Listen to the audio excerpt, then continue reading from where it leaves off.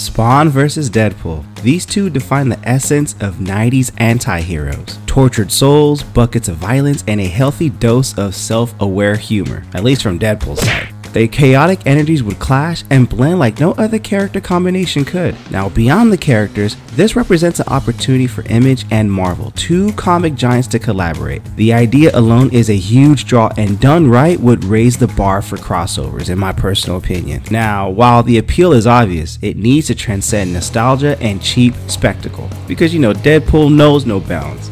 So there's potential for genuinely thought-provoking exploration of trauma, morality, and the limits of what a hero even is in their twisted worlds. Now how can this narrative work? It can't just be Deadpool quipping and Spawn doing all the heavy lifting. Here are three compelling plot points that explore Deadpool versus Spawn crossover and if you stick with me to the end, I think we have to add a little bit of Wolverine to the mix. Number 1. The devil went down to wherever Deadpool is. A mysterious figure even more tortured than Spawn appears on Earth and hell wants him back. Hunted by demons, this individual needs protection, and who better than the merc with the mouth and a hellspawn? So the figure is a demon in disguise, manipulating both Spawn and Deadpool both. Spawn's internal struggle to do good collides with Deadpool's chaos. Now here's the question, can they ever truly trust each other or is this a recipe for spectacular betrayal? Number 2.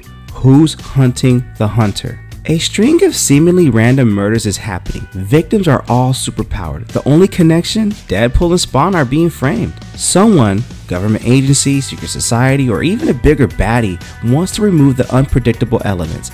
Can these two put aside their mutual distrust long enough to find the real killer? This will explore themes reputation and vigilante justice. Now before I go into plot number 3, which would include Wolverine in the mix, don't forget to check out ratedcomics.com for some really cool limited print rated comic exclusives to add to your comic book collection. Support the art, support the industry. Now, let's get back into the content. Wolverine gets dragged into the mess because, of course, why not? So someone's experimenting on mutants, injecting Klyntar symbiote material into their systems, and the results are horrific. This new threat is too powerful for either Spawn or Deadpool alone.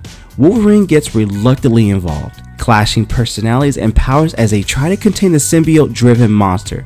This has a high potential for gory action and darkly satirical commentary on weaponization. Hey, that's just my three plot points right there. So the key is ensuring these plots offer more than surface level thrills. Spawn and Deadpool's core appeal lies in their messy humanity by forcing them to confront difficult truths about themselves and the world. Amidst all the mayhem, that's where a truly memorable crossover would take shape and this will be gangster to watch if they can do this. And I hope y'all can do this. So what do you guys think? I want to hear you guys debate on this. Do they end up being grudging allies or sworn enemies? Hey, comment below, let me know. And also this video is sponsored by coffee, so if you'd like to buy a boy a cup of coffee, link in description or donate to the super thanks. But the greatest compliment you guys can do is by liking this video and subscribing to Rated Comics YouTube channel.